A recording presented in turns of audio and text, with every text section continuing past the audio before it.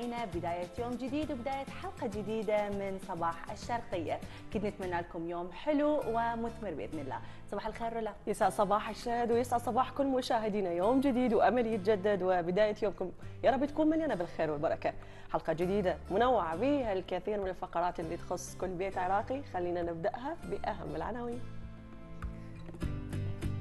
يساعد العمل التطوعي على اكتساب الشخص مهارات جديدة ومميزة. وبخصوص هذا الموضوع طرحنا سؤالنا لليوم واللي هو هل تؤيد العمل التطوعي في بعض المنشآت أو المصانع والشركات المعتمدة لزيادة مهارات العملية؟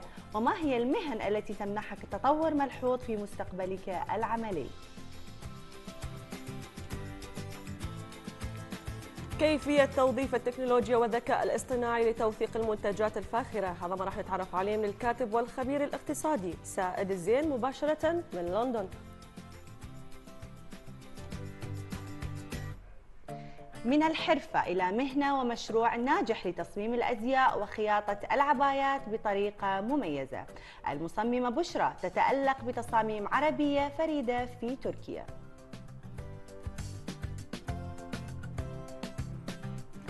أبرز الطرق لادخار الأموال راح يحدثنا عنهم من استوديو أربيل نادر سعدون مستشار تأسيس وتطوير أعمال الادخار والاستثمار.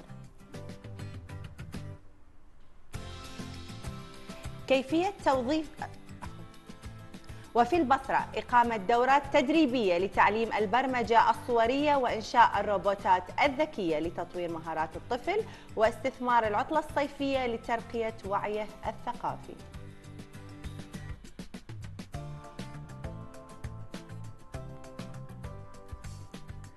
أما الأخبار المنوعة لليوم عواقب غير متوقعة لسائح بريطاني نقش اسمه على منزل عمره 2000 عام في إيطاليا.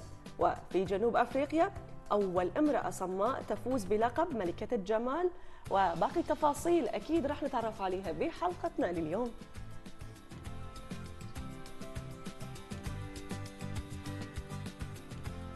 ومن العناوين أكيد ننتقل إلى سؤالنا التفاعلي لليوم واللي هو مهن تطمح للعمل بها كمتطوع لكسب الخبرة ولماذا؟ أكيد ال QR code الظاهر عندكم على الشاشة. مشاهدينا تقدرون تستخدموه على مود تنتقلون إلى صفحة قناة الشرقية على الانستغرام وتشاركونا آرائكم. أكيد راح نقراها خلال الحلقة. أكيد. طبعا منتظرين تعليقاتكم وكل آرائكم على ال QR code مثل ما ذكرت شهد. ولكن قبل لا نروح لحلقتنا ونبدأ حلقتنا خلينا نروح نشوف حالة الطقس والأجواء في عموم العراق. قالوا على أساس بالأخبار إنه 40 يوم والصيف يخلص. تتوقعين هذا الشيء؟ نحسبهم يوم يوم. نحسبهم يوم يوم. نبدأ حالة الطقس من بغداد. درجة الحرارة اليوم في بغداد 40 درجة مئوية مشمس من المتوقع أن يكون غد 44 درجة مئوية أيضا مشمس وبعد غد 45 درجة مئوية مشمس أقصى درجات الحرارة من الممكن أن تصل في بغداد إلى 44 درجة مئوية. والموصل؟ درجة الحرارة اليوم في الموصل 39 درجة مئوية مشمس من المتوقع أن يكون غد 40 درجة مئوية مشمس وبعد غد 43 درجة مئوية أيضا مشمس. أقصى درجات الحرارة تصل اليوم في الموصل إلى 41 درجة مئوية. والبصرة؟ درجة الحرارة اليوم في البصرة 44 درجة مئوية مشمس من المتوقع أن يكون غد 46 درجة مئوية مشمس وبعد غد أيضا 46 درجة مئوية مشمس. أقصى درجات الحرارة تصل اليوم في البصرة إلى 48 درجة مئوية. وختامها مع أربيل. درجة الحرارة اليوم في أربيل 39 درجة مئوية مشمس من المتوقع أن يكون غد 40 درجة مئوية مشمس وبعد غد 42 درجة مئوية أيضا مشمس. أقصى درجات الحرارة من الممكن أنه تصل في أربيل اليوم إلى 40 درجة مئوية. كانت هذه حالة الطقس في عموم العراق. هي حارة بس إذا 40 يوم نقدر نتحمل. 40 يوم درجة الحرارة 40 يعني الواحد يمكن يقدر يتحمل شوية. تبدي تنزل لو راح تصير زينة. هي راح ترتفع الأيام القادمة ولكن تب تبدأ آه، بعد. الارتفاع إنه الماكسيمم يصير بعد شوية شوية تصير تدريجيا آه، طقس حلو يلا يا الله ندخل في مرحلة. الخريف بإذن الله عندما يكون العمل التطوعي رحلة ممتعة وتجربة تمزج ما بين مشاعر الإنسانية وقيم تحقق الفائدة لكافة أفراد المجتمع حينها ينعكس ذلك على المتطوع نفسه بحيث يجعله يرتقي بمهارات شخصية وقيم أخلاقية ومعرفة علمية أيضاً. ولهذا فهناك العديد من الأشخاص يلجؤون دوما للتطوع في أفخم الشركات والمصانع وأفضل أنواع المنشآت بهدف نيل الخبرة والمعلومات الكافية التي تجعلهم أقرب إلى تحقيق طموحهم ومعرفة كيفية العمل واستغلال ذلك من أجل صقل مهنتهم. ومن هذا الموضوع حبينا نطرح سؤال حلقتنا لليوم واللي يقول هل تؤيد العمل التطوعي في بعض المنشآت أو المصانع والشركات المعتمدة لزيادة مهاراتك العملية؟ وما هي المهن التي تمنحك تطور ملحوظ في مستقبلك العملي؟ خلينا نشوف استطلاع من بغداد مع زين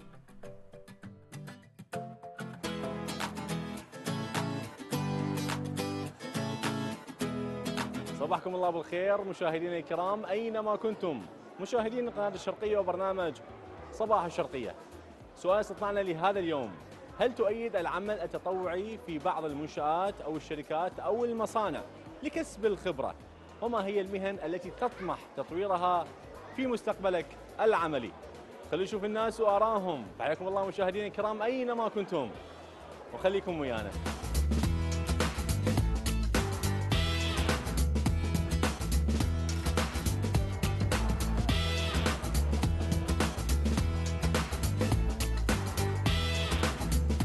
صباح الخير.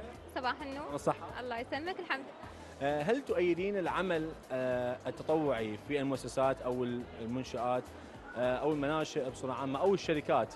التطويع المجاني لكسب الخبرة أو تطوير المهارة العملية؟ أكيد طبعا. أنا مع هذه الفقرة لأنه إحنا من نتخرج نحتاج شيء ينمي الشيء اللي درسناه. تعرف إحنا أغلب كلياتنا وأغلب الطلاب بصورة عامة يقضون الدوامونسه أوف فما راح يكتسبون الخبرة من الكلية بس بالعمل راح يكتسبون الخبرة خاصة مجانا. حتى من يقدم على وظيفة أو يطلع له تعيين هو عنده الخبرة الكافية اللي تخليه يشتغل صح يعني خطوات صحيحة. شنو المهن اللي تحبين تطمحين إنه تتطور في مجال آه، العمل المستقبلي؟ يعني أنا كشغلتي التصوير لأن أنا أعتبره رسالة. يعني أرسل صورة حب بين أشخاص اثنين بين عائلة يعني هي صورة كاملة هاي راح تبقى طول العمر. فأتمنى إنه يتطور. أكيد بالمعدات آه، بالتنمية آه، بالتغذية يعني بالدراسة الصحيحة لأنه التصوير كاني كمصورة تصوير مو فقط دقمة وزر وبس لا يعني هو دراسة كلش واسعة. اني صار لي خمس سنين مصورة وبعدني نقطة بحر بهذا المجال. يعني كل يوم دا أكتشف شيء جديد بالتصوير أقول اني وين كنت اني شنت أسوي؟ حكم مجالي يعني كصيدلاني. إحنا أغلب صيدلة من نتخرج تمام. نروح تطوعيا نشتغل بصيدليات مجانا؟ مجانا تمام. لمده خلينا نقول من ثلاث أشهر إلى ممكن توصل سنة. ليش؟ تاخذ خبرة. تاخذ خبرة. تفتهم السيستم مال الصيدليه شلون يصير. تفتهم. نظام إنه أنت تتطوع مجاني في سبيل كسب الخبره، طيب آه طيب سؤال ثاني يقول آه شنو المهن اللي تحب تطمح لها تطمح إنه تتطور في مستقبلك العملي؟ يعني أنا صيدلاني بس أشتغل يعني medical representative اللي هو مندوب طبي للشركة تمام؟ آه شركة أدوية. آه هي تج يعني تجي تدرجيا يعني إحنا كمندوب بعدين team leader supervisor area manager تمام. فكذا أنا صراحة في يوم من الأيام أطمح أنه أكون area manager تمام داخل العراق إن شاء الله. يعني آه، أول شيء هو واحد بعد ما يتخرج بشكل عام بسبب هاي الأعداد الهائلة اللي تتخرج بشكل عام وال القطاع الحكومي الفرص تقل سنة بعد سنة فالواحد لازم أول ما يتخرج يشوف نفسه بالقطاع الخاص. حتى يدخل القطاع الخاص لازم يكتسب خبرة. وحيكتسب يطوع العمل مجانا؟ نعم هو تطوع مجانا يعني أنا بالبدايات قبل كم سنة اشتغلت تطوع مجاني. أكيد أكيد هو بالبدايات. كنت يعني بالكامبينجز وهاي التفاصيل آه، كان توزيع آه، شنو مهنتك؟ أنا طبيب. إي فكنا دائما نروح ويا ال NGO لعدة مكانات وهاي التفاصيل. كنا نفحص الناس نوجههم إلى مستشفيات أو تفاصيل. يعني كنا يعني ويا ال WHO هاي التفاصيل.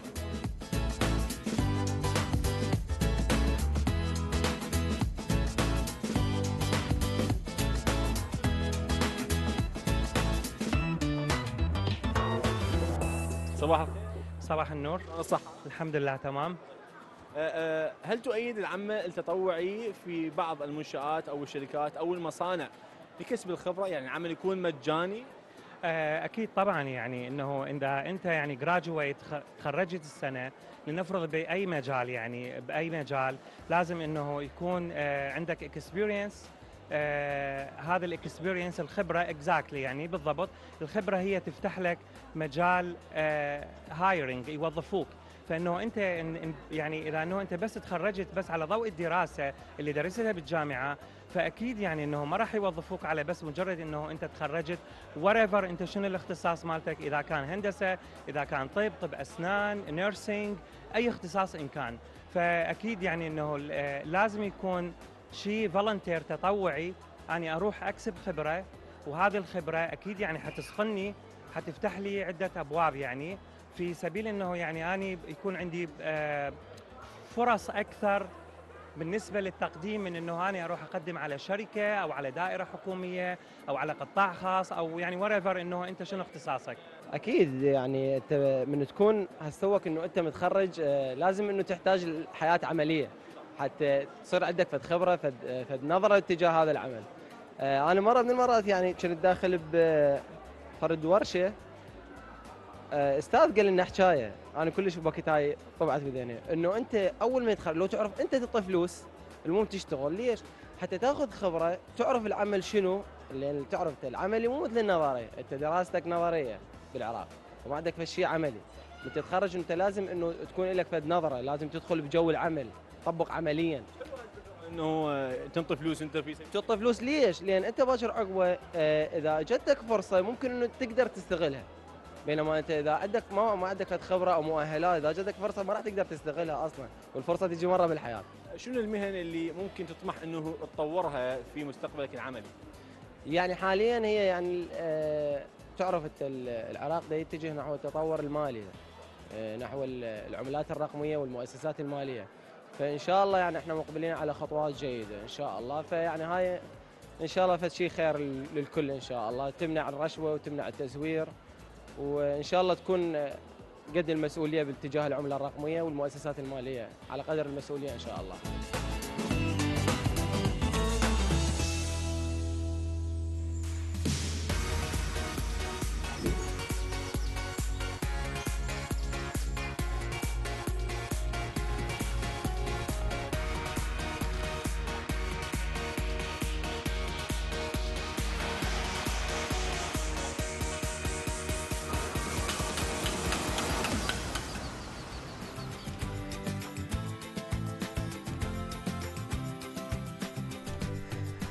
طبعا شكرا لكل الأشخاص اللي شاركوا بهاشتاج حلقتنا لليوم وشكرا لكل الأشخاص أيضا اللي شاركوا باستطلاع حلقتنا. مثل ما شفنا الكثير من الناس يحبون إنه يسوون الأعمال التطوعية لتطوير من آه، أنفسهم آه، مثل الأشخاص اللي يعملون بمجال التسوق التسويق عفوا والبعض الآخر اللي يشتغل بالتصوير. فدائما هذه السكترات أو هذه الأماكن في العمل في تطور مستمر فلازم يكونون بالصورة ولازم يروحون لهذه الدورات طبعا نرجع أذكر مشاهدينا بهاشتاج حلقتنا شهد اللي هو مهن تطمح للعمل بها كمتطوع لكسب الخبرة ولماذا؟ برأيك شهد شنو هي المهن اللي ممكن أنه تزيد الخبرة؟ شوفي أنا أحس أي شيء يعني مثلا مثلا خلينا نقول أنا أشتغل بالتسويق. هو. التسويق عبارة عن شنو؟ عبارة عن آه، أفكار دعائية. فممكن أنه أنا آه، أتدرب بشيء له خاص بالإعلانات. أنه أتطوع بشيء. بمكان له خاص بالإعلانات كإنترنشيب خلينا نقول غير مدفوعة. ممكن يكون شيء له علاقة بالتصوير لأن. التسويق جزء من التصوير. ممكن شيء له علاقة بال fashion ممكن شيء له علاقة بال interior design ممكن شيء له علاقة بأي شيء إبداعي. فأحس آه، يعني لازم نكون ملمين بهواية أمور تخص المجال اللي إحنا نعمل به صحيح. يعني مو لازم يكون directly بالمجال اللي إحنا نشتغل به أكيد أكيد. أكيد. واحدة من الشغلات شهد إنه الواحد لازم يعامل نفسه ك product، شلون يقدر هو يقدر يسوق نفسه بالطريقة الصحيحة يعني يشتغل على ذكاء الاجتماعي، ذكاء العاطفي، ذكاء في العمل، تطوير مهاراته في العمل، لأن ممكن إنه الواحد يكون عنده الذكاء ال- العاطفي والعملي الزايد عن اللزوم بحيث إنه يتقبل كل التغيرات اللي حوله، يتقبل الأعمال الجديدة، يتقبل حتى التفاصيل الجديدة اللي تصير في الشغل، لأن مو كل شخص يقدر يكون فلكسبل مرن بالعمل. وبعدين مثل ما ذكرتي فكرة إنه إحنا نسوق لذاتنا هي فكرة جدا ناجحة. رولا في جميع المجالات لأنه أنت شنو ما كنت تشتغل راح تحتاج إنك تسوق بذاتك. فكل ما زدت شهادات وخبرات لنفسك هالشيء راح يرفع من مكانتك مهما كان عملك. يعني أكو ناس يحبون يقعدون حتى إن كان هو مثلا يشتغل آه، طبيب يقول لك أنا طبيب ولكن دارس ترجمة صحيح. ومتدرب هنا ومدرب هاي كلها أمور ترفع من قيمتنا العملية. أكيد شهد من هذه المواضيع والنقاشات الحلوة ننتقل لضيفنا لليوم. مع كثرة تقليد المنتجات الفاخرة والماركات العالمية أصبحنا ما نستطيع نفرق بين المنتجات الأصلية والتقليد. ومؤخرا ظهرت التكنولوجيا وتطبيقات الذكاء الاصطناعي بإيجاد الحلول لهذه المشكلة. فكيف يمكن توظيف التكنولوجيا والذكاء الاصطناعي لتوثيق المنتجات؟ هذا ما راح نتعرف عليه من ضيفنا الكاتب والخبير الاقتصادي سائد الزين مباشرة من لندن. يسعد صباحك. واهلا بك بصباحنا. صباح الخير ست راوية صباح الخير. يا أهلا بك. بالبداية خلينا نتحدث عن شلون الواحد يقدر يوظف التكنولوجيا على مود يحمي المنتجات الفاخرة اللي هو يقدمها كمستثمر. نعم مثل ما ذكرتي آه، في الآونة الأخيرة أو أو هذه مشكلة آه، تواجه كل كل منتجي أو مصنعين المنتجات الفاخرة. دائما هي التقليد التقليد والتزوير. الآن هناك ثورة كبيرة آه، في عالم التكنولوجيا ثورة آه، ال- ال- الكتل المتسلسلة أو البلوك تشين الآن آه، عدد متزايد من الشركات اللي بتنتج المنتجات الفاخرة يضعون يقومون بتصميم آه، بصمات إلكترونية شفرات إلكترونية آه، متوافقة مع المنتج لمنع تزويره ولتثبيت الملكية. م- على سبيل المثال أنت مثلا اشتريتي حقيبة حقيبة يد فاخرة جدا غالية الثمن. آه، كيف تضمنين أنها أصلية من آه، هرميس مثلا. آه، الحقيبة تأتي مع بصمة إلكترونية آه، باسمك بمواصفات المنتج بتاريخ تصنيعه. لا يمكن لأي أحد أن يزور هذه الحقيبة أو يستنسخها أو يدعي أنها له. فهذه ال- ال- الآن التكنولوجيا بدأت بالانتشار لكن بشكل بشكل بسيط. لكن أتوقع أنها ستأخذ حيز كبير جدا من هذا ال- العالم خلال سنة أو سنتين إن شاء الله. بإذن الله. سيد سائد سؤالنا لك أيضا كون هذه الثورة التكنولوجية عابرة للحدود والقارات مثل ما ذكرنا، هل هالثورة التكنولوجية وصلت للعالم العربي برأيك؟ لا ليس بعد آه، لكن ال- الشركات المصنعة للمنتجات الفاخرة طبعا لديها زبائن في العالم العربي ولديها زبائن مهمين جدا في العالم العربي فأكيد ستصل هذه التكنولوجيا للعالم العربي هناك شركات آه، بدأت في في تقديم هذه الخدمات لكن آه، عبر فروعها في العالم العربي مثلا في دبي في في في السعودية. لكن أتوقع أنها ستصل ستصل قريبا لاننا نعيش في عالم متكامل قرية صغيرة. فما يحدث في أمريكا أو في بريطانيا سيحدث في في دبي في في في الخليج عن قريب. فأعتقد أنها ستصل ستصل قريبا جدا. طيب سيد سائد من اللي يستطيع يستخدم هذه الخاصية؟ لأنه بعض الأشخاص من الممكن انه يكونوا مستثمرين آه، واصلين بالسوق من الممكن انه يستخدمون هذه التقنية؟ ولكن الأشخاص العاديين أو حتى المستثمرين العاديين هل من الممكن انه يوصلون لهذه التقنية؟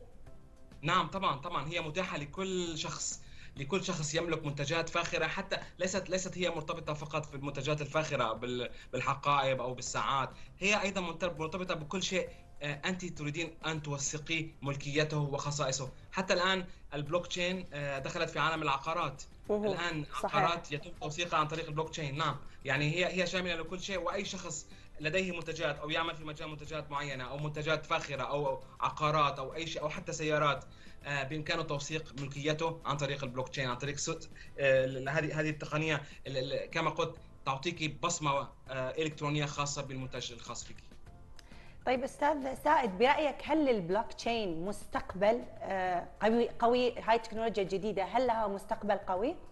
نعم أعتقد أعتقد نحن نشهد الآن ثورة ثورة حقيقية في هذا المجال. ثورة حقيقية مثل الثورة الصناعية مثل بدايات دخول الكهرباء واختراع ال- ال- الأشياء الكبيرة في في عالم اختراع التليفون. أعتقد أنها سيكون لها مستقبل جدا كبير وخصوصا أنها ستقضي على آفة من آفات ال- العمل في مجال المنتجات الفاخرة وهي آفة التزوير. والتقليد. فطبعا لها مستقبل كبير جدا. حلو. طيب سيد سائد هل من الممكن أنه هذه التقنية يعني كل تقنية جديدة إحنا ناخذ فترة معينة من الزمن على مود نثق بها آه، في حال كانت آه، من خلال المستثمرين أو من خلال الأشخاص المستهلكين.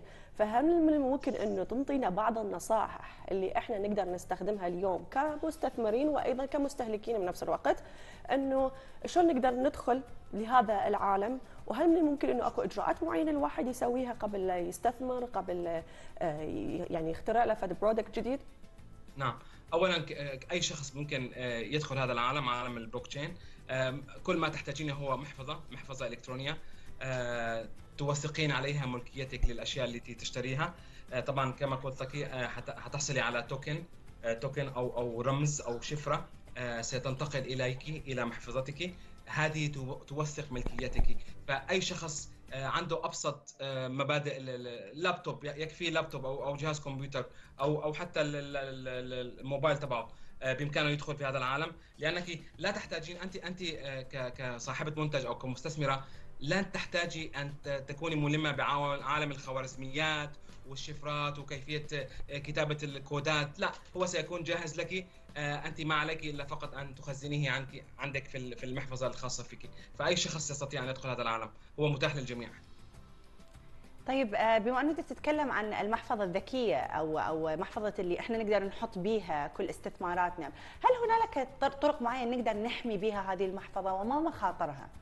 نعم نعم طبعا آه، أهم شيء أهم شيء في كل شيء آه، له علاقة بال- بالعالم ال- الإلكتروني العالم الافتراضي هو أن تكوني آه، ملمة بقواعد الحماية حماية هذه ال- المحافظ. طبعا هناك شفرات آه، كبيرة جدا هناك آه، كلمات سر آه، معقدة جدا خوارزميات تحمي هذه المحافظ. هناك عدة عدة خطوات تقومين بها حتى تستطيعي الدخول إلى هذه المحافظ. وما بعرف إذا سمعتوا الأخبار هناك بعض الناس لديهم ملايين في هذه المحافظ نسوا كلمات السر ولم يستطيعوا الدخول إليها. واستعانوا بخبراء آه، برمجيات للدخول إليها.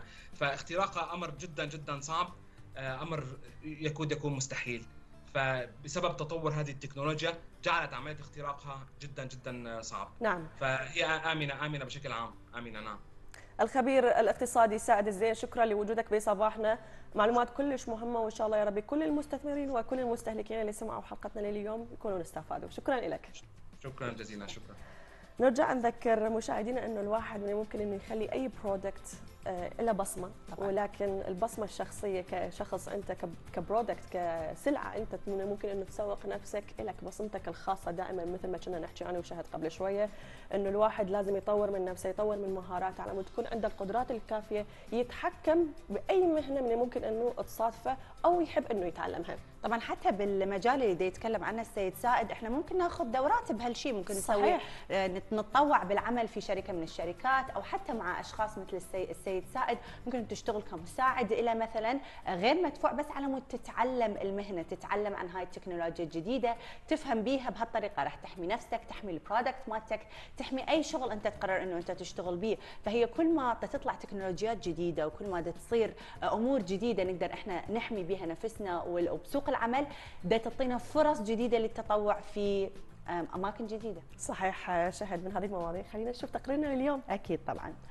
البصمة الفنية والذوق الجميل هي أساس تميز كل فنان وهذا اللي تميزت به المصممة مصممة الأزياء بشرى في تركيا حيث أنها حرصت على تصميم العبايات بطريقة عصرية وبطابع عربي أصيل فقد عملت على تقديم الدورات والورش التدريبية لتعليم الخياطة وتصميم الفساتين بطرق مميزة.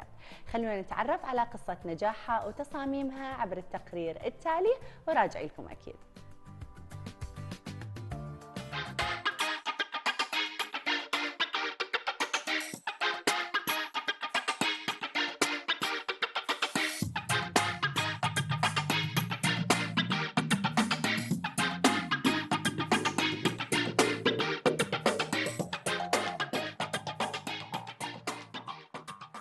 بشرى مصممة أزياء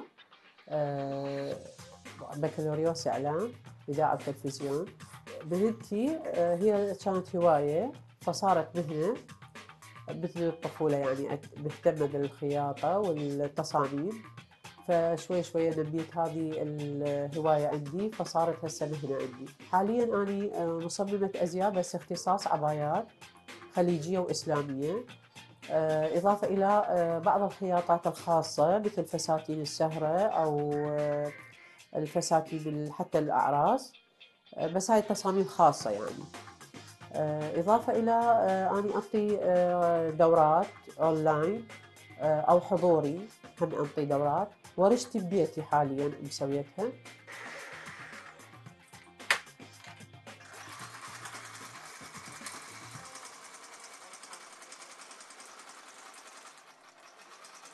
التصاميم مالتي آه، أول مرة أصمم ال- التصميم اللي اريده بعدين أني آه، أروح أجيب القماش اللي يرهم هذا التصميم وراها آه، آخذ القياس ال- يعني بصراحة آه، أسوي العبايه القياس اللي السايز اللي كله تلبسه يعني.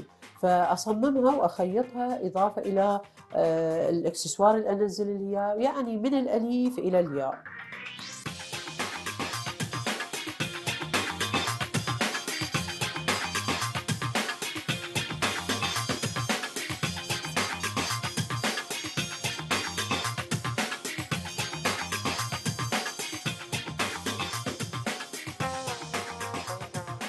العباية الخضراء أخذنا منها فكرة شنو؟ القفطان اشتغلنا على العباية فضفت لها الإكسسوار آه، هي تصلح للمناسبات والسهرات يعني الحلوة.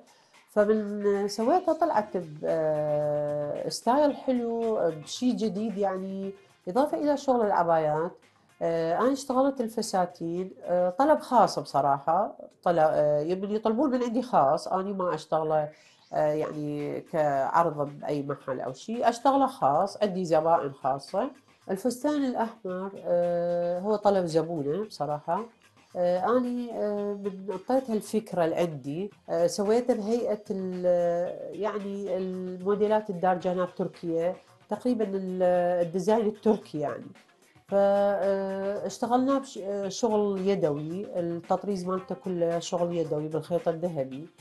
إضافة إلى بعض الإضافات مثل البطانات أكثر من بطانة هاي لأن هو شكل مثل ملكي نقول القديم يعني الستايل القديم يعني. فطلع بشكل حلو وستايل حلو وحبوه بصراحة.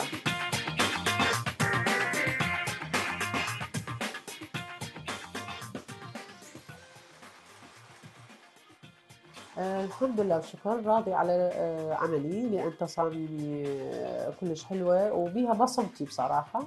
إضافة إلى أني أمنيتي أشارك بمعارض دولية كلش آه، يعجبني يعني هاي الشيء.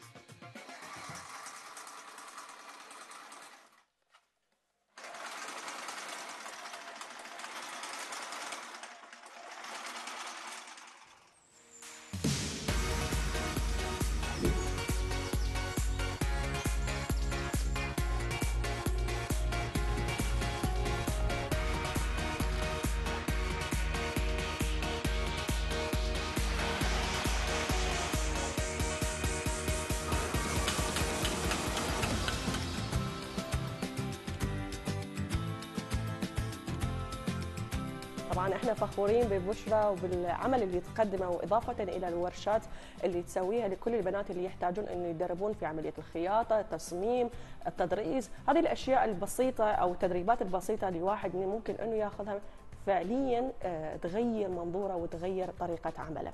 طبعاً. شنو رايك شهد؟ آه، أكيد رولا مثل ما ذكرتي هي هم من الدورات اللي تسويها همينة ممكن يكون منها جزء عمل تطوعي يعني ممكن انت. تروحين إذا حابة تتعلمين مهنة الخياطة مهنة تصميم الأزياء أو حتى تفهمين بأنواع الأقمشة المختلفة ممكن إنه تروحين فترة تشتغلين عمل غير مدفوع مع مصممات أزياء مثل بشرى أو هواي أكو مثل بشرى بالعراق وبكثير من البلدان أكيد آه، راح تتعلمين مهنة جديدة ومنها تنمين مهاراتك ومنها همينة تستثمرين وقتك بشيء حلو. وأكيد نذكر مشاهدينا بال QR code اللي راح يظهر لكم على الشاشة. تقدرون تشاركونا آرائكم في سؤال اليوم اللي هو هل تعتقدون إنه العمل التطوعي مهم على مود تنمون مهاراتكم في أماكن معينة؟ شاركونا آرائكم على ال QR code. منتظرين تعليقاتكم مشاهدينا ولكن قبل لا نشوف التعليقات خلينا نروح للأخبار مع ماهر. يسعد صباحك ماهر. يسعد صباحك رولا شهد صباح الخير. شنو محضر لنا لليوم؟ مجموعة أخبار. أحوال العالم هذا الصباح بهذه النشرة. خلينا تابع نتابع. حسوية إذا أسعد الله صباحكم مشاهدينا إلى هذه المجموعة من الأخبار. إذا تحولت جزارة العشب المتواضعة إلى سيارة سباق في منافسة السرعة والتحمل لمدة 12 ساعة. وانطلق أكثر من 40 فريقا من حقل على مشارف بيترسفيلد في هامشاير جنوب إنجلترا ليلتفوا حول مسار تم بناؤه للسباق بسرعة 50 ميلا في الساعة على جزارات مصممة خصيصا لهذا الغرض.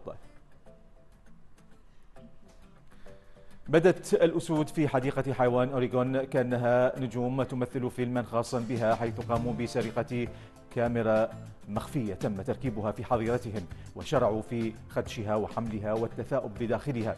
وأفادت حديقة الحيوان على فيسبوك بأن حراس الحديقة قاموا بإخفاء الكاميرا في الحظيرة لكن في غضون أيام عثر عليها الأسود. في إطار جهودها للحد من خطر دخول الحشرات الصغيرة إلى البلاد نشرت كوريا الجنوبية كلبا مدربا على اكتشاف بق الفراش في مطار إنشتون الدولي مع عودة الرياضيين والمسؤولين والمشجعين من دورة الألعاب الأولمبية في باريس. ويقود الحملة كلب يبلغ من العمر عامين يدعى سيكو والذي أظهر لوسائل الإعلام قدرته على اكتشاف بق الفراش في حقائب السفر. احتشد العشرات من الصيادين وعشاق الموسيقى التقليدية من جميع أنحاء قرغيزستان بالقرب من بحيرة إيسيك كول الشهيرة لحضور مهرجان سالبورون التقليدي. وتم استلهام المهرجان من احتفالات الصيد التي أقامها النبلاء في العصور الوسطى لكنه حاليا مخصص في الغالب لعرض مهارات المشاركين وحيواناتهم الأليفة التي يستخدمونها في الصيد والاستمتاع بالموسيقى الشعبية.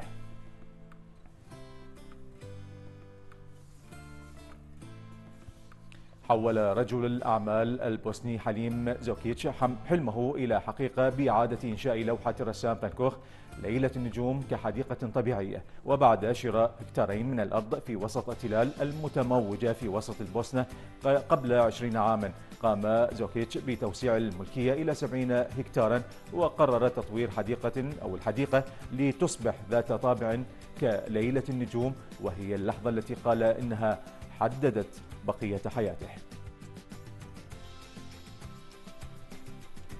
اتخذت السلطات في مدينة البندقية الإيطالية السياحية عددا من الضوابط للحد من تأثير الحشود على المدينة الساحلية وتم تخفيض حجم المجموعات السياحية إلى 25 شخصا كما أعلنت السلطات المحلية في المدينة.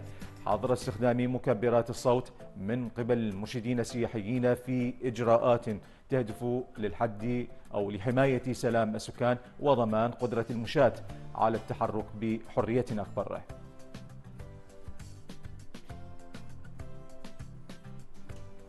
عراقيا وجهت مفوضية حقوق الإنسان في البصرة نداء جديدا لاتخاذ خطوات فورية وتقليل مسببات التلوث بعد ورود تقارير عن تزايد الإصابات بأمراض السرطان.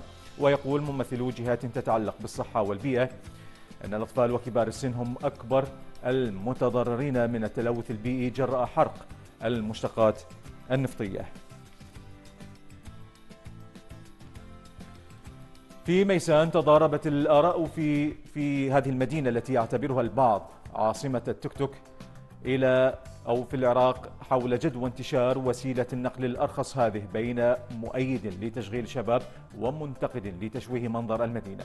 يقول مواطنون أن أغلب سائقي التوك توك لا يلتزمون بقوانين المرور وأن أغلبها غير مسجل أصلا في محافظة تسجل سنويا آلاف الحوادث المرتبطة باستخدام التوك توك. ختام هذه الجولة السريعة من الأخبار عودة من جديد إلى رولا وشهد. شكرا لك شكرا لك. شكرا. شكرا. يومك سعيد. يومك سعيد ماهر. نرجع نذكر مشاهدينا في حال حبوا إنه يشوفوا فقرات سابقة من صباح الشرقية. كل اللي يقدرون يسوون إنه يروحون على ال QR code يظهر أسفل الشاشة حياخذهم مباشرة لصفحتنا عبر اليوتيوب يقدرون يتابعون كل ما فاتهم. نرجع نذكرهم بهاشتاجنا أكيد طبعا. هاشتاج الحلقة مهن تطمح للعمل بها كمتطوع لكسب الخبرة ولماذا؟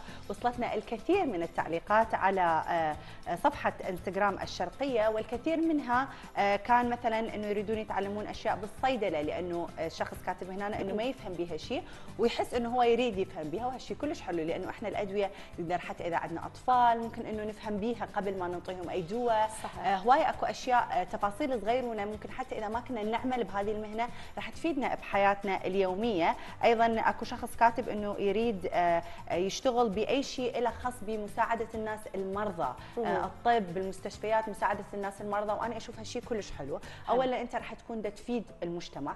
أنت بعملك التطوعي هذا مو بس بدها تكسب خبرة ودا تزيد آه، من معلوماتك في هذا المجال وإنما دا تفيد المجتمع دا تخدم الناس وهالشيء أكيد اجره عظيم. وأنا أشوف أحلى شيء لما يكون العمل التطوعي يجمع ما بين آه، الأجر خلينا نقول إنه أنت دا تساعد الناس والمجتمع وما بين إنه أنت دا تزيد خبرة لذاتك. من هذا التعليق الحلو شهد تعليق ثاني من ضحى كاتبة كمتطوعة أحب إنه أكون متطوعة في حماية الحيوانات من أذية البشر لأنه وايد نشوف آه، فيديوهات تنتشر على مواقع التواصل الاجتماعي في أذية كميه كبيرة من الحيوانات. فيا ريت إنه أقدر آه، اتطوع بمكان معين يحمي هذه الحيوانات من الأذية. أيضا البرمجيات والتصوير النحت والخشب على الخشب والخياطة. يعني نفسي أتعلم الخياطة وكلش أحب هذا المجال هذا تعليق كاتبته ندى ويا ريت إنه أكو دورات معينة أو حتى دورات تطوعية من الممكن إنه أني آه، أشارك بها. طبعا أكو الكثير من الدورات التطوعية أو حتى دورات التعليم بالخياطة وغيرها من المجالات أو اللي كانت تريد تساعد الحيوانات وهذه الأمور. اكو هوايه بالعراق لازم تسوون بحث بس أنا اوعدكم إنه راح تلقون. وإذا من متابعينا أكو آه، جهات مختصة بهذا الموضوع أكيد نتمنى أن تتواصلون ويا الناس اللي حابين آه، يشاركون بهيجي مجالات رولا عمرك تطوعتي؟ آه يعني من كنت أصغر عمرا إيه ورا ما تخرجت من الجامعة وكان هذا الموضوع بالنسبة لي لأنه أنا خريجة business ولكن التطوع صار على منطقة مختلفة تماما إنه شلون الواحد يقدر يستثمر ويستثمر بالاماكن خلينا نقول جدا كبيرة مم. فالخبرة اللي كانت هي لمده ثلاثة أشهر ولكن اختلفت معاييري تماما تعلمت الاستثمار تعلمت شلون أقدر أتعامل مع الأشخاص اللي ممكن أن يكون عندهم ال power آه، بالتحكم بالاشياء اللي موجودة بالسوق بالاقتصاد. فهذا الشيء يعني زاد من خبرتي وبنفس الوقت خلاني أتحمس أكثر إنه الواحد شلون يقدر يسوق مو بس نفسه أما الأشياء اللي حواليه وحتى إنه ممكن إنه يكون flexible مرن أكثر. آه، بانه يتعلم شغلات جديدة. فهذا الشيء كان مفتاح انه تعلمت قانون تعلمت انه القوانين وتعلمت هواية أشياء أخرى؟ بالنسبة لك أنت شهد؟ إي أنا تطوعت صراحة في أكثر من مكان. أه. أكو يعني كان عندي أش... تطوعات خيرية ولليوم كل فترة أحب أسويها بس تطوعت فترة طويلة بال United Nations صراحة. حلو. طوعت عندهم فترة اشتغلت ك internship بعد آه، هو كان جزء من تخرجي خلينا نقول كان متطلبات التخرج إنه أشتغل في مكان فوقتها اشتغلت في ال United Nations وكانت من أحلى فترات حياتي حلو. لأنه كان عمل مرضي نوعا ما على الصعيد الإنساني وعلى صعيد العمل أكيد. حلو واحدة من التعليقات اللي شفتها شاهد إنه الواحد شلون يقدر يتطوع بدون آه، يعني مردود مادي هذا المردود اللي إحنا نريد نسويه أو نروح نتطوع على موده هو مردود معنوي أكثر لتطور النفس. آه، إذا كان هذا مثل ما ذكرت شاهد إنه إذا كان هذا عمل تطوعي خيري فهذا مردود للنفسية. فمو شرط إنه كل شيء لازم يكون مقابل المال بالأخص بالأشياء اللي آه، تخص الخير تخص أعمال الخير. من هذه المواضيع مشاهدينا ننتقل لخبرنا المنوع لليوم. للجمال معايير عدة وبنسب متفاوتة. وهذا الذي جعل امرأة صماء تتوج كأول امرأة أو كأول ملكة جمال صماء في جنوب أفريقيا. فبالرغم من اختلاف نسبة المؤهلات التي تمتلكها لكن هذه الفرصة إجتها وصارت ملكة جمال آه، أفريقيا. وبرغم التحديات التي واجهتها ولكنها نجحت ونالت اللقب في المسابقة. حيث تم تشخيص إصابة لورو البالغة من العمر 28 عاما بضعف شديد في السمع عندما كانت تبلغ من العمر سنة واحدة فقط. وقد خضعت لعملية زرع قوقعة صناعية لمساعدتها على إدراك الصوت. وأصبحت الآن ميا هي أول صماء تتوج كملكة جمال بجنوب أفريقيا. فقد أكدت ميا إنها تأمل بمساعدة النساء اللواتي يشعرن بأنهن مستبعدات من المجتمع على تحقيق أحلامهن الجامحة تماما مثل حالتها. وكانت ميا قد أثارت جدل كبير على وسائل التواصل الاجتماعي لعدة أسابيع حيث شكك كثير من الناس بما في ذلك أحد الوزراء في حقها إنه هي تمثل البلاد ولكن من الممكن انه يكون الموضوع مشكوك بأمر إنه هي تسمع ولكن هي واجهت هذا الشيء وفازت كملكة الجمال طبعا هذا الموضوع يطبق على الكثير من النساء. هذا بس يقول لك إنه ماكو حدود لحلمك مهما كانت العائقات اللي قدامك تقدرين إنه انت تتغلبين عليها وتوصلين للي انت تبيه خلينا نتابع الفيديو التالي.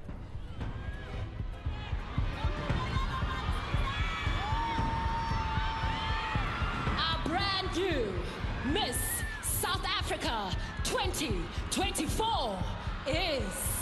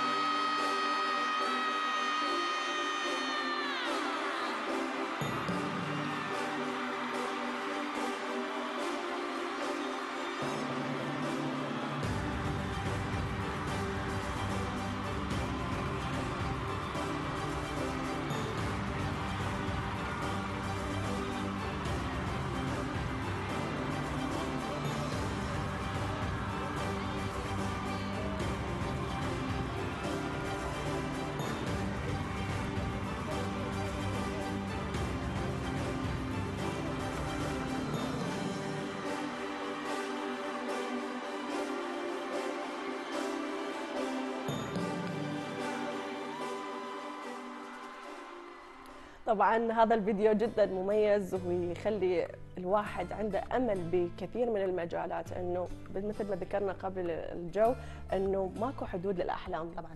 خلي دائما السماء حدودك. ومثل ما شفنا بما إنه ميا رادت إنه تكون ملكة جمال قدرت توصل مع إنه الناس شككوا بيها. مم. حتى أحد الوزراء ده نقول شكك بيها وبما مدى صحة ادعاءاتها إنه هي آه، صماء ولكن بالأخير وصلت. وأنا أشوف آه، هيك نجاح لما يجي بعد تعب وبعد تحدي يصير طعمه بعد أحلى. الحلو والشهد انه مو بس ملكات الجمال وخلينا نقول الجمال الايكون اللي موجود في مواقع التواصل الاجتماعي وحتى في المجتمع آه، اكو تصل يعني تسليط ضوء جدا كبير على الأشخاص اللي عندهم ديفوهات معينة يفكرون إنه هم هذا من ممكن إنه يكون عائق عندهم ولكن هو يكون مصدر نجاحهم ومصدر آه، يعني آه، تحقيقهم ل يعني نفسهم وتحقيقهم ووصولهم لأهدافهم. هواي شفنا على مواقع التواصل الاجتماعي إنه دائما أكو ال women empowerment مثل ما ذكرنا صحيح. إنه دائما المرأة تدعم المرأة. وهذه رسالتها كملكة جمال إنه السماء هي الحدود مثل ما ذكرتي. أكيد طبعا. من هذه المواضيع ننتقل إلى استديوهاتنا في أربيل مع تامر اللوزيني يسعد صباحكم. يسعد صباحكم بنات وصباح الخير على كل مشاهدينا في صباح الشرقية. آه، طبعا إحنا في زمن السرعة والتطور وكل شيء صاير سريع فعلا. فيبقى العمل التطوعي فعلا له معنى ثاني ليحسسنا بالقيم الإنسانية. فبالتالي ممكن من خلال أي خدمة بسيطة نقدمها أو المشاركة حتى في التفاعلات أو التنظيمات الإنسانية والمجتمعية. هذا كله يعتبر أو يندرج تحت الاسم التطوع أو العمل التطوعي. أكيد آه، فبالتالي من أجمل ال- الأعمال التطوعية ممكن نشارك بها ونبدي بها ممكن بالمنطقة أو المكان اللي نعيش به فممكن يكون من خلال المبادرة أو المشاركة في حملات جمع النفايات أو التشجير اللي أنا جدا أحبها وأشارك بها بين فترة وفترة. احسها كلش تكون بسيطة وما تتطلب يعني الوقت أو الجهد. وبنفس الوقت ممكن نتعلم منها هواية ونحافظ على البيئة ونشجع غيرنا أيضا يكون ويانا بهذه الحملات. وكثير هي الأعمال التطوعية وتدخل أكيد. في مجالات حياتية مختلفة. أكيد. خلينا نشوف بما انه بما إنه تتكلمين. عن العمل التطوعي إنه انت هوايه شاركتي بأعمال تطوعية في العراق ومنها مثل ما قلتي أشياء خيرية. فهذه الأعمال التطوعية عادة ما تنطينا شعور الرضا آه، عن النفس. شنو أكثر الأعمال التطوعية اللي شاركتي بها وحسيتي فعلاً. وراها فعلا إنه انت راضية عن نفسك وحسيتي إنه انت فتي غيرك وبنفس الوقت هذا الشيء رجع بفائدة عليك؟ بالضبط. شهد مثل ما ذكرت الأعمال التطوعية اللي شاركت بها بشكل كان عفوي ولكن حسيت تأثيرها كان كبير علي. وحسيت فعلا إن التطوع بشيء بسيط يبدي. ممكن إحنا من خلال إحنا وقاعدين عن بعد من الإنترنت ممكن نتطوع بشيء بسيط. ممكن نقدم خدمة أو صحيح. آه، نقدم مال لناس محتاجة. أو حتى ممكن نشارك فعليا بهذه الأعمال الحملات اللي ممكن تصير. حتى بمنطقتنا ممكن إحنا نشوف نفايات ونلمها ونحاول آه، ممكن حتى نشارك بحملات التشجير وأيضا قبل فترة كان مشروع آه، لإنشاء حديقة عامة بالمنطقة اللي أنا ساكنة بها حبيت أشارك بها فهذه كلها آه، خلتني أكثر إنه أني أبادر وأشارك بهاي الحملات ويكون صحيح عندي وعي. إنه إيش قد أكو أمور مهمة يعني تكون بسيطة ولكن تأثيرها يكون جدا كبير هذا حلو. رأيي خلينا نشوف رأي زين يسعد خلينا صباحك مره ثانية صباح الخير عليك يا تميلة وعلى الصبايا. في استوديوهاتنا في استوديوهاتنا في دبي آه، طبعا آه، كل واحد. آه، عنده هدف بحياته ويطمح إلى إنه. يكون يشتغل بمهنة معينة أو قطاع معين فمن المهم إنه هو يكتسب الخبرة الكافية وطبعا الواحد بعد ما يتخرج يحتاج إلى فترة من التدريب إذا كان كمتطوع أو إنه ياخذ آه، فترة حتى يتعلم أساسيات هذه المهنة أو هذا آه، المجال بعدين يبدأ يشتغل صحيح آه، أشوف زين. جدا مهم إنه الأشخاص اللي يتخرجون حديثا يتوجهون إلى العمل في مجال العمل التطوعي وبعدين شوي شوي يتدرجون إلى إنه يسلمون مهام رسمية في شركات أو إذا كانت منظمات أو جهات أخرى حتى يطبقون هذا العلم والخبرة اللي يكتسبوها خلال أكيد الفترة. أكيد. زين وتامل إحنا فقراتنا انتهت من استديوهاتنا في دبي. مستم- مستمرين متابعين وياكم من استديوهاتكم في اربيل شكرا لكم ويومكم سعيد. يومكم سعيد بإذن الله. شكرا لكم بنات.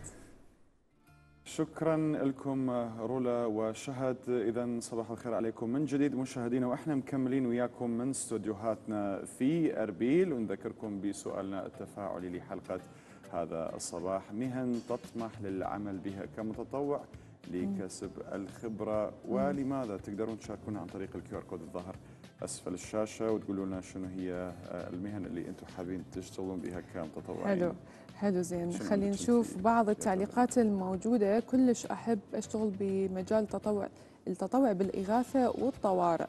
أيضا أحب أتطوع في الدول الفقيرة. وممكن أسافر مع المنظمات حتى أساعدهم. حلو. زينب همين تقول مم. أنا أحب شغل ال- الإداري والإدارة فحبيت أدخل بمنظمة في منطقتنا حتى أكسب الخبرة الكافية. وبعدين أنطلق وأشتغل كشغل دائم وياهم كلش حلو يعني مم. ممكن واحد يضرب عصفورين بحجر إنه هو أكيد. يتعلم من هذا العمل ممكن مجاله إداري أو غيره ونفس الوقت ممكن آه، يساهم في هذه المنظمات الإنسانية لأنه هو بتفكيره إنه هو يساعد ناس محتاجة بنفس الوقت. خلينا نقرأ مزيد من التعليقات مهم. الموجودة. آه، حملات التشجير كلش أحب أشارك بيها كوني دارسة هندسة زراعة وأيضا أحب أتعلم أكثر عن الأشجار والزراعة وأيضا أبادر بهذه المبادرات الإنسانية. حلو.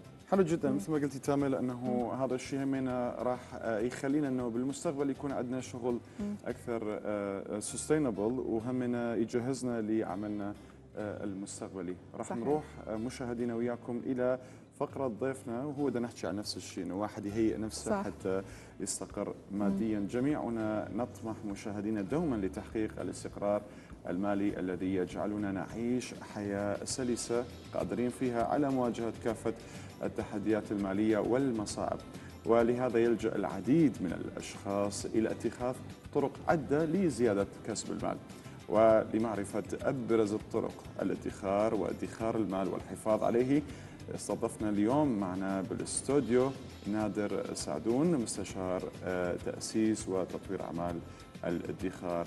والاستثمار. صباح الخير عليك. صباح الخير عليكم وعلى صباحك. المشاهدين الكرام. نادر. أهلا وسهلا. آه بداية إحنا طبعا بدنا نحكي بموضوع كلش مميز. خلينا نسألك كم سؤالنا التفاعل بما نعم. بدنا نحكي على الاستثمار. وممكن من الأمور اللي تدخل تحت موضوع الاستثمار المالي قبل أن نستثمر بنفسنا. فشو رأيك بالأعمال التطوعية؟ شنو المهن اللي تشجع عليها؟ أو أنت تحب بنفسك إنه تتطوع أو تطوعت فيما في وقت يعني وحبيت إنه آه، تشاركها ويا المشاهدين. صحيح. مم. آه على بداية العمل التطوعي هو. ينقسم إلى قسمين الجانب الخيري والإنساني من هذا العمل. آه والجانب الثاني اللي ذكره الأستاذ زين لموضوع اكتساب الخبرات. الخبرات. والتهيئة لسوق العمل اليوم نحن ننصح أي خريج جديد يتوجه إلى ال ال الشركات التي تصب في آه، ضمن تخصصه. ويعرض خدماته التطوعية عليهم بهالطريقة هاي بيكسب خبرات إضافية؟ لأنه دائما الشركات تطلب آه، خبرات لل لل للوظائف اللي هم دا يعرضوها. فالخريجين الجدد دائما هي المعاناة الرئيسية عندهم ما عندهم خبرات. صحيح. فيقدر يشكل خبرات. جميلة جدا عن طريق العمل التطوعي.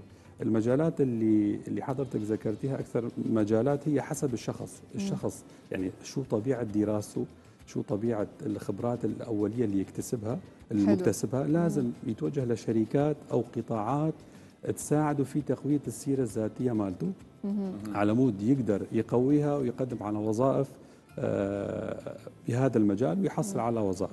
بيبقى الجانب الخيري والإنساني هذا بظن ما في إنسان ما عنده هذا الجانب الخيري والإنساني ضروري. آه العمل التطوعي بيترسخ بعدة أشكال ممكن. مثل ما تفضلتي مساعدة الفقراء مناطق منكوبة آه ممكن آه أحداث كارثية آه يعني تصير في منطقتك اللي أنت ساكنة فيها أو غير صحيح. مناطق صحيح. والكثير من المج... ممكن حملات تشجير ممكن حملات آه نظافة يعني حملات كثيرة آه وطرق آه، كثيرة لأن الواحد يقدر آه، يستثمر. بها وأنه فعلا. يقدم ضروري. جدا عمل التطوعي ضروري جدا نادر إحنا من الخدمة التطوعية أو العمل التطوعي راح نروح نحكي شوية عن عملية الادخار إحنا بحلقات نعم. سابقة مهم. حكينا عن شلون واحد ممكن يجمع الدولار صح آه وشلون ممكن واحد يستثمر هسه نريد نحافظ على هاي الدولارات اللي صح. إحنا جمعناها صحيح. صحيح. آه عرفنا شوي عن كيف ممكن واحد يحافظ آه على الأموال أو الاستثمار اللي هو تمام مسويه آه الادخار جدا مهم لأي شخص مم. ولأي شركة ولأي دولة ولأي مؤسسة نعم. أنت إذا ما عرفت كيف بتدير عملية الادخار راح تصيبك أزمات مالية. كثيرة آه كفرد نحكي كفرد اليوم آه هناك نظريات أساسية في عملية الادخار. خلينا نبلش فيها. طبعا هي مقتبسة من الوسط اللي نحن نعيشه بشكل يومي. أولا مقاومة الرغبة بالشراء. كلنا لما ننزل على على المول أو نسافر عندنا يعني أي إنسان عنده رغبة جامحة إنه يشتري. يشتري آه، كثير أشياء. بس نحن. دائما ننصح إنه مقاومة هالرغبة هي لمدة دقائق أو ساعات. انت قاوم هالرغبة هي بالشراء بعد ساعات راح تكتشف إنه هذا الشيء اللي كنت راح تشتريه ما له لزوم. يعني دائما نحن نسأل حالنا يعني شو راح يصير إذا ما اشتريت هاي القطعة أو هذا. المنتج أو. هذا ال product okay؟ آه، بمجرد سألت نفسك هذا سؤال راح تختفي هي الرغبة. فهي طريقة مهمة لحفظ جزء من الأموال. الطريقة الثانية نحن بنقول للأشخاص اللي عندهم رأس مال صغير أنت إذا ما عندك عمل لا تشتري سيارة يعني بهي العمل اللي أنت بدك تشتري. فيها سيارة وتتفسح فيها. أسس فيها عمل خاص. بنفس الوقت اللي عنده آه، رأس مال صغير وما عنده عمل آه، ما بنتوجه آه، لنشتري بيت. بنقول له أخي استأجر بيت أسكن بالإيجار هاي المبلغ اللي انت حلو. كنت راح تشتري فيه عقار بمبلغ معين استثمره راح تطلع منه أرباح تغطي إيجار البيت وبالإضافة إلى زيادة رأس مالك. كمان ننصح الناس الأفراد عدم تجميد الأموال في المنزل لأنه الأموال ال- ال- ال- المتجمدة في المنزل نتيجة التضخم اليومي أو الأسبوعي أو الشهري الحاصل اللي دا يحصل بالعملة تفقد جزء من قيمتها. فتكنيز الأموال في المنزل أيضا غلط. كمان بننصح آه المقبلين على الادخار والاستثمار آه الاستثمار في أنفسهم. وفي تربية وتعليم أولادهم. يعني نحن بدنا نقول الشخص إيش قد ما يستثمر بنفسه وده مهم. يصرف فلوس على نفسه بالنهاية العائد على هذا الاستثمار أضعاف ما تم صرفه. اثنين الاستثمار بالأطفال. اليوم أطفالك استثمر بتربيتهم بتعليمهم حطهم بأفضل الأماكن هدول أفضل عائد على الاستثمار راح يرجعوا لك وراح يرجع لهم لهم نفسهم يعني دائما أكررها. أنت لما تترك عقارات وأملاك ل- ل- لأطفالك آه، ممكن بعد سنة سنتين يصرفها ويبيعها مم. بس أنت لما جهزت أطفال. بعقلية المستثمر بعقلية الادخار لا أنت بدك تبني شخصية هي راح تطور نفسها بنفسها وهي راح تبني ثروة آه لنفسها فهي مجموعة من النظريات اللي اللي. بتساعد آه على الادخار طبعا في غيرها كثير يعني فينا ممكن نحكي ساعات على هذا الموضوع صحيح إحنا هسه حكينا فقط على الادخار ما حكينا على الاستثمار حكيت على الاستثمار بشكل عام أيضا بالضبط. يعني نصائح تفيد الاستثمار أكيد، أيضا أكيد. طبعا الكل يطمح إنه يكون عنده دخل شهري أكثر طبعاً. آه، حتى يغطي نفقاته ويوصل لطموحه وكل واحد له أهداف فبالتالي ممكن يحدد أهدافه يبدي بأول شيء بتحديد الأهداف صح. فخلينا نحكي على الطرق الفعالة حتى واحد يزيد من الدخل الشهري صحيح. هلا مثل ما ذكرتي حضرتك مم. سؤال جميل الادخار والاستثمار. بيكملوا بعض مم. فاليوم انت لما تدخر وتجمد هالاموال هي ما تستثمرها فانت مالك ف يعني ما. راح تستفاد من هذا الادخار تمام الاستثمار بيبدأ من النفس الاستثمار بالنفس جدا مهم آه، الواحد يقوي من خبراته. بالمجال اللي هو شغال فيه آه، اثنين آه، عندنا الاستثمار الكلاسيكي اللي هو الاستثمار بمجال العقارات. اليوم. الشخص عنده وظيفة ما عنده خبرات عالية بتأسيس أعمال وهيك فنحن بننصحه استثمر فلوسك بالعقار. طبعا العقار كمان يعني العقار هو علم بحد ذاته. الاستثمار عقاري ما لازم يكون عشوائي. تختار المنطقة الجغرافية الصحيحة. تختار الشركة الصحيحة المطور العقاري اللي بدك تستثمر معاه. ننصح آه، أيضا يفضل الاستثمار بالعقارات تحت الإنشاء لأنه أسعارها بتكون أرخص لأنه نعم. الشركات بالعادة بحاجة إلى سيولة آه، نقدية فبتنزل الأسعار فمرحلة مرحلة السعر بيرتفع. عندنا العاق... آه، الاستثمار بمجال الذهب. الذهب أيضا من الاستثمارات الآمنة آه، يعني صحيح ال- الأرباح مالتها ممكن يعني تطور بطيء فيها بس هي آمنة يعني على القليلة هي أفضل من بقاء الفلوس. ال- الطريقة الثالثة اللي بنستثمر فيها هي آه، الاستثمار في مجال الأسهم سواء بالشركات المحلية أو بالشركات الأجنبية ال- الخارجية العالمية المعروفة شريك كبرى الشركات. طبعا إحنا بالعراق عندنا سوق آه، العراق للأوراق المالية بس للأسف يعني آه، نتيجة اختلاطي بالناس وبالشركات. نعم. ما في فكرة واضحة عن الشركات المدرجة فيها عن أرباحهم. ففي عندنا ضعف بهذا. الموضوع. الطريقة الرابعة للاستثمار هي كل موظف آه، بوظيفته إذا قدر يطور من مهاراته يطور من خبراته يكتسب خبرات جديدة أوتوماتيكيا راح يزداد آه، راتبه راح يرفع من راتبه والوصف الوظيفي مالته راح يتغير الشركات اللي بيها سقف معين للرواتب. يقدر هذا الشخص يلاقي. عمل جانبي أو ممكن part time مو عمل كامل يضيف من آه، دخله الأشخاص اللي عندهم خبرات عملية وعنده جرأة إنه يعمل عمل خاص ممكن بجانب وظيفته يأسس عمل خاص يستثمر الفلوس اللي هو عاملها حصلها عن طريق الادخار يستثمر هالفلوس هي بعمل جانبي ما يأثر على وظيفته وبالمقابل الوظيفة هي ما تأثر على هذا عمل خاص. فهي أيضا من طرق آه، زيادة ال- الاستثمار وزيادة آه، الأموال والأرباح. ممتاز. ناظر الحوار دائما معك ممتع وشيق وأعتقد المشاهدين من الشباب حتى الكبار يستفادون من هاي المعلومات لأنه إحنا سوينا سلسلة كيف واحد يحصل على الأموال كيف يستثمر كيف أيضا يحافظ وأيضا آه، يدخر الأموال. فشكرا جزيلا لتواجدك شكراً. اليوم شكراً. ويانا وعلى هاي النصائح. شكراً شكرا لك. لكم. شكرا. إذا مشاهدين سؤالنا التفاعل لحلقة اليوم مهن. تطمح للعمل بها كمتطوع لكسب الخبرة ولماذا؟ آه، خلينا نقرأ مزيد من تعليقاتكم اللي موجودة. آه، أيضا من التعليقات الموجودة آه، أحب أتطوع بالمنظمات الإنسانية. دا أشوف هواي ناس حابين إنه يشتغلون بالمنظمات الإنسانية. شنو عندك زين آه، رؤى تعليقات؟ همينة كاتبة أنا أحب المحاسبة وأطمح أنه أكون أشتغل بهذا المجال. لهذا إذا بيوم من الأيام قدمت كمتطوع أحب أكون دا أشتغل بهذا المجال مهم. هذا كلش مهم تامر لأنه. واحد يختار مجال التطوع إذا ما كان شيء إنساني أنتم دا تسووه. آه، طوعا لكن كان شيء حتى أنتم تنمون من مهاراتكم مهارات. تختارون المكان اللي أنتم تريدون تتوظفون به أو على الأقل المجال اللي أنتم حابين تدخلون به وتستثمرون به بالمستقبل وتكونون آه، تكتسبون خبرة بهذا مهم. المجال. أنا أحمد يقول أنا كلش أحب التعامل مع الأطفال بالتالي كلش أحب أشاركهم في الأعمال التطوعية اللي فعلا يعتبر استثمار بالنسبة لهم وتزيد من ثقتهم بأنفسهم وتخليهم أشخاص أفضل.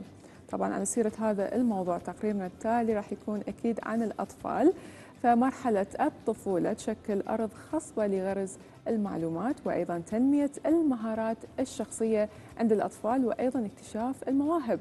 وهذا الذي استهدفته ورشة الروبوتات في البصرة والتي لطالما منحت فرصة لتعليم الطفل على مهارة أو على مهارة تجمع ما بين الميكانيك والكهرباء وأيضا البرمجة. من خلال صناعة الروبوتات عبر البرمجة الصورية ودمجها مع تخصصات مختلفة في الحياة. فخلونا نتعرف على هذا الورش أو هذه الورشة أكثر عبر التقرير التالي من البصرة. وراجعكم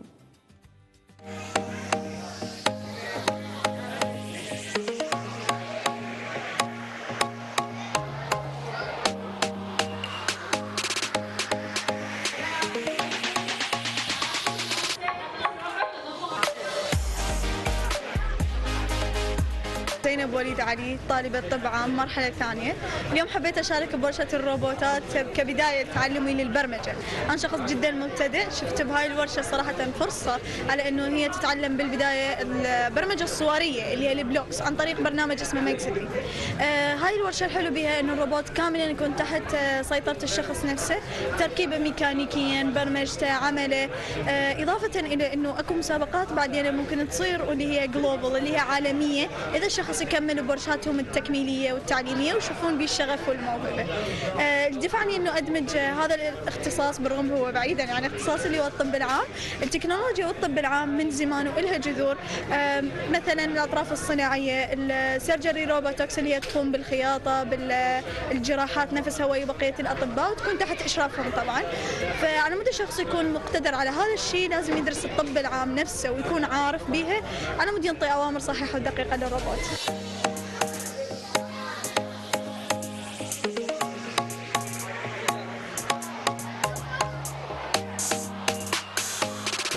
نفسها ممتعة. يعني دائما نقولها إنه لا تخليه يلعب اللعبة خليه هو يصنعها.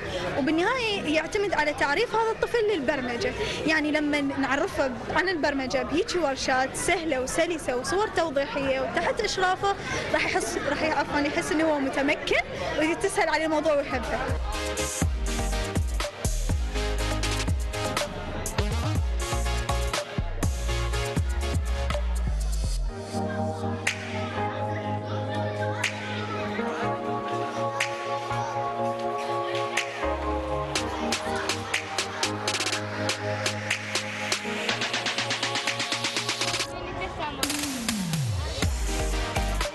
المنتخب هو نفسه قاعد يدرب الطلاب.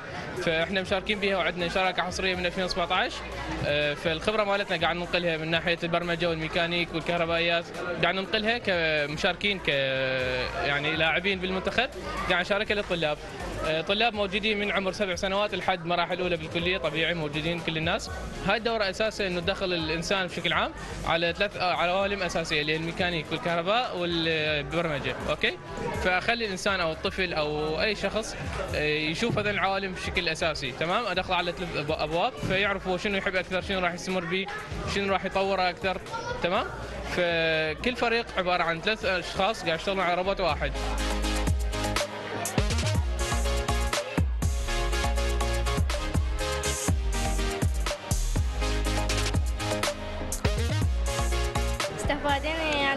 يعني واحد يتعلم يعني نمي عقله على هيك اشياء هيك نموذج. يعني إذا واحد مثل هسه حاليا الأطفال 24 ساعه كاظين نقالات فراح يأثر على دماغهم بالمدرسة ونهائيا ما راح يستفادون شيء من المدرسة. فيكون يدخلون هيك مجالات يتعلمون شلون صناعة الروبوت. هذا يعني يتكون من أول شيء طونا صندوق.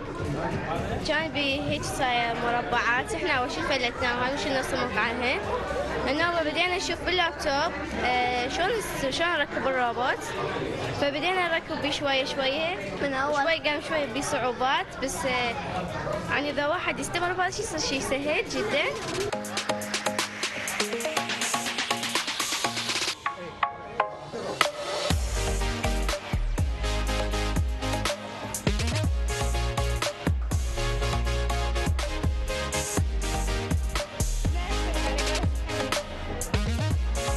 فريق العراقي للروبوتات في أولمبياد الروبوتات FIRST Global اللي عندنا به شراكة حصرية للسنوات السبع الماضية وهي السنة الثامنة. آه نشارك بهاي الفعاليات الدولية. آه ارتئينا أن نجعل هذا الموضوع متاح محليا. حتى نخلي هذا ال- النشاط متاح للأطفال واليافعين. يتعلمون بالجانب الميكانيكي، الجانب الإلكتروني والجانب البرمجي من الروبوت وننفرد عن بقية الأنظمة التعليمية للروبوتات باستخدام البرمجة الصورية اللي تجعل عملية برمجة أشهر عقل إلكتروني اللي هو الأردوينو متاح. فاليوم إحنا نتحدث عن مو فقط إنتاج أو صناعة روبوت بس هنا الأطفال راح يتعلمون بمستوى جامعي أنه يبرمج أي مشروع ذكي يريده ويكون مدخل لموضوع الروبوتات ومدخل عالم التكنولوجيا والذكاء الاصطناعي.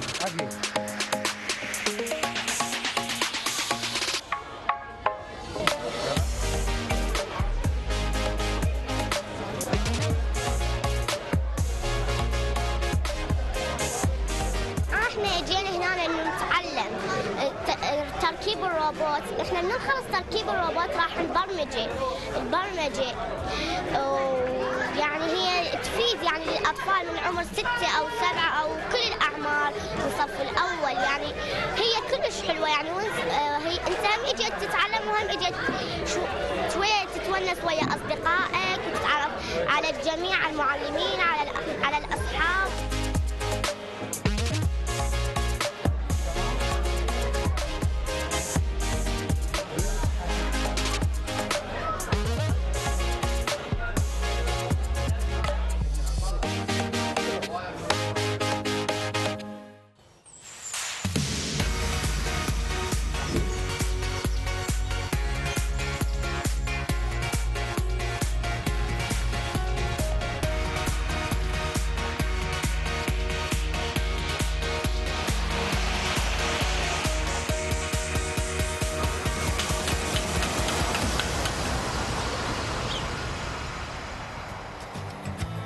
إذا مشاهدينا رجعنا وياكم بعد ما أخذناكم بجولة إلى البصرة وهذا الماراث الجميل جدا وش قد مهم إنه إحنا مثل ما شفنا آه، بهذا التقرير وش قد مهم واحد يهتم ويستثمر بالأطفال مثل ما قال همينة ضيفنا تامل نادر. خصوصا بهذا المجال دا يتطور يوم. فعلا تقرير جميل أيضا ينطبق على سؤالنا التفاعلي لحلقة اليوم اللي هو عن الأعمال التطوعية لكسب الخبرة، شنو المجالات اللي تحبون تشتغلون بها ولماذا؟ آه، نقرأ تعليقات قبل ما نروح لأخبار الصباح آه، أفكار أحب آه، أيضا أتطوع في الأعمال الإنسانية أيضا نفس التعليقات. آه، من التعليقات الأخرى في منظمات الشبابية والمشاركة في الحملات. أوكي هذا التعليق مميز. في الجامعات أحب أقدم الدروس الخصوصية مجانا. حلو. سناها من إيه. كاتبة أني أحب مجال الصحافة والإعلام. جميل. أحب يوم من الأيام يكون عندي مجال أنه أني أتطوع بهذا المجال حتى أكتسب الخبرات الكافية لأنه جدا أحبه وأحب أتخصص به بيوم من الأيام. حلو ممتاز. اذا زين من هاي التعليقات خلينا نروح إلى فقرة أخبار الصباح مع ديما. يسعد صباحك ديما. صباح صباح الخير. تملا صباح الخير زين. شنو رأيك بسؤالنا التفاعلي اليوم إحنا بدنا نحكي عن يعني واحد شلون ممكن يختار مجال حتى هو يتطوع به آه، آملا أنه بالمستقبل يشتغل بهذا الدومين أو بهذا والله المجال. بالنسبة لي قطعت هذا الشوط وانتهى فأتطوع أصير ربة بيت واكو إذا. رجعنا شوي فلاش باك سوينا إذا كان عندك أفضل تطوع. حاليا تعطيني أكون ربة بيت ربة بيت اذا فإذا فلاش باك اتس أوكي يعني بالأعمال البيئة البيئة. راح تختارين؟ أحس تعملها من أيضا إحنا نحب هذا. المجال مميز شكرا لك ديما ونسمع. منك أخبار الصباح. إذا صباح الخير على كل مشاهدي شاشة الشرقية وجولة بأخبار الصباح. وأولها بالأسود التي كانت في حديقة حيوانات ريغون وكانت هي نجوم فيلمهم الخاص وسرقة كاميرا مخفية تم تركيبها بحظيرتها وبدأت ملامستها وحملها وأيضا حتى التثاؤب بها. وبحسب منشور على موقع فيسبوك قام حراس حديقة الحيوانات بإخفاء الكاميرا في موطن الأسود الأسبوع السابق وفي غضون أيام. عثر عليها الأسود بحسب الموقع الإلكتروني لحديقة الحيوانات فإن الأسود تشكل جزءا من معرض الحيوانات المفترسة.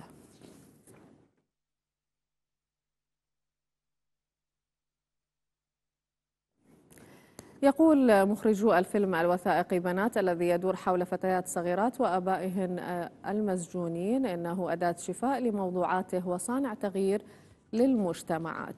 ويتابع الفيلم الروائي أربع فتيات سوداوات صغيرات وهن أوبري وسانتانا ورازيا وجانا أثناء استعدادهن للمشاركة في رقصة بين الأب وابنته خلف القضبان يتعمق الفيلم بالبنات الذي أخرجه بانتون وناتالي راي في الضغوط العاطفية والإثارة التي تعيشها الفتيات أثناء استعدادهن لرؤية آبائهن شخصيا.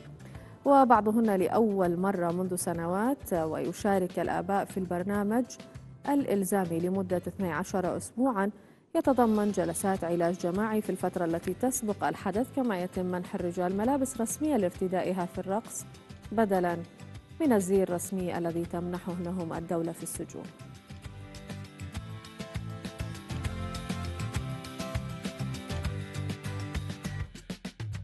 أنت وانتهى برنامج تجريبي في كوبنهاجن لمكافأة السياح على إداء مهام مثل استخدام وسائل النقل العام وركوب الدراجات والمشي وجمع القمامة ويقوم منظموه بتقديم ما إذا كان أو تقييم ما إذا كان سيتم تمديد المشروع.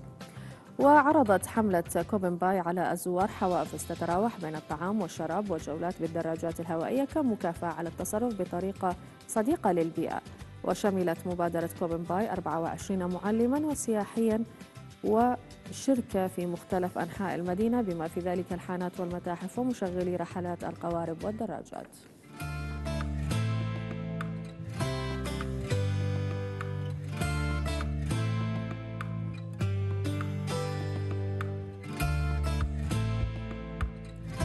وسط التلال المتدحرجة في وسط البوسنة نجح رجال الأعمال أو رجل الأعمال حليم زورجس في تحويل حملة أو حلمها الطويل إلى حقيقة بإعادة إنشاء ليلة النجوم لفينيس فانكوخ كمنتزه طبيعي. وذلك بعد شراء هكتارين من الأرض قبل عشرين عاما حيث قام سوركيش بتوسيع العقار إلى 70 هكتارا دون رؤية واضحة قبل ست سنوات مستوحاة من مسارات الجرارات الحلزونية الشكل. وقرر إنشاء حديقة ذات طابع ليلة النجوم وهي اللحظة التي قال إنها حددت بقية حياته. وتضم الحديقة حوالي 130 ألف شجيرة لافندر وأعشاب عطرية أخرى مما يشكل دوائر ودوامات ملونة عبر عشرة هكتارات. ورسمت لوحة الليلة المرصعة بالنجوم في عام 1889 أثناء إقامة فان كوخ في ملجأ سان بول دي موسول بالقرب من سان ريمي في فرنسا. وهي الآن معروضة في متحف الفن الحديث في نيويورك. ويقول متحف الفن الحديث إن هذا العمل أعلن عن تبني الرسم الحديث للمزاج والتعبير والرمز والعاطفة.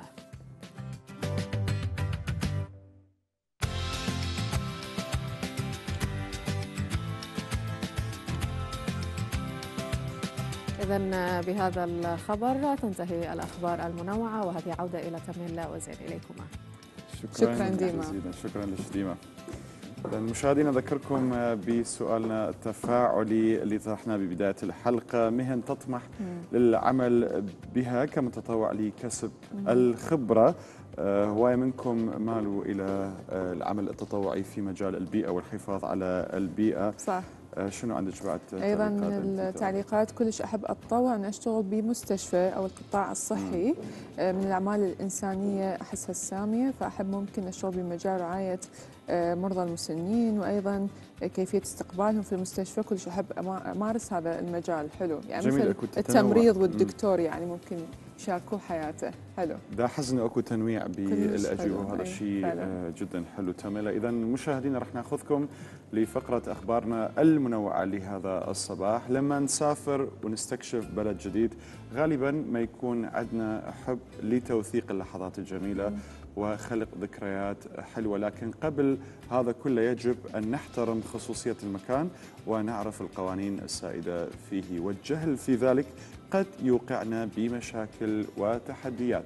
تماما مثل ما حدث مع السائح البريطاني الذي ألقى ألقي القبض عليه مشاهدينا قبل أيام وهو ينقش الأحرف الأولى من اسمه واسم عائلته على أحد منازل مدينة بومبي الإيطالية والتي يبلغ عمرها ألفي عام.